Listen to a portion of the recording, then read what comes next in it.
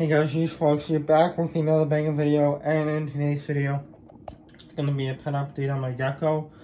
So make sure you like, subscribe, share, tell a friend, get this video to 20 likes, and without further ado, let's get right into the video. So if you're new here, I do a pet update in a room tour at the beginning of every month. So, uh, yeah, he's still alive. He is right there. Mm -hmm. This is his uh, setup, as you guys can uh, see it. But yeah, he's doing pretty good. I've had him for almost three years now. But this is going to be the end of this video. Until next time, peace.